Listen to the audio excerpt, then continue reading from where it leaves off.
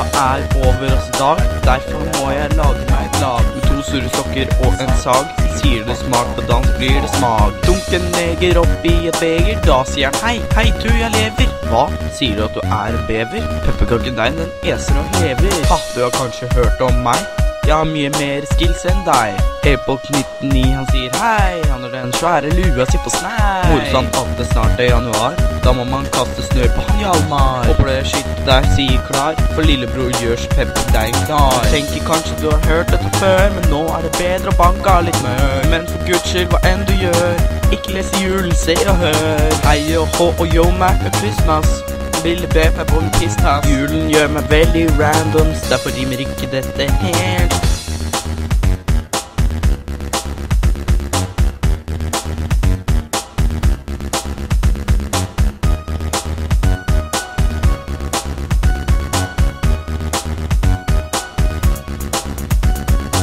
er jo lan hver helvetes dag. Kommer inn og sier nja. Jeg lurer på hva var det nå jeg sa?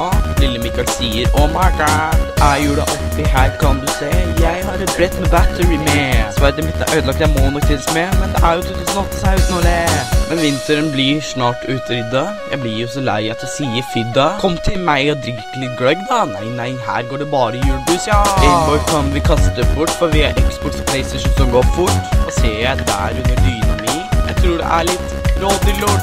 Tenker kanskje du har hørt dette før, men nå er det bedre å banke litt mør. For guds skyld, hva enn du gjør, ikke les i julen, se og hør.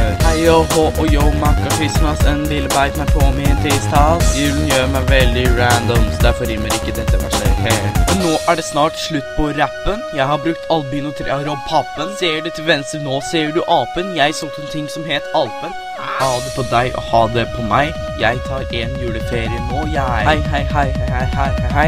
Det var unødvendig så kall oss lei. Du tenker kanskje du har hørt dette før. Nå er det bedre å banke av mør. For guds skyld, hva enn du gjør, ikke lese i julen. Hei, oh, oh, oh, yo, Michael Christmas, en bilde veit meg på min tirsdags. Julen gjør meg veldig randoms, derfor rimer ikke dette verset helt, ja. ikke kanskje du har hørt dette før, men nå er det bedre å banke litt mør. Men for guds skyld, hva enn du gjør, det er det verste jeg har hørt. Sånn. At jeg har dere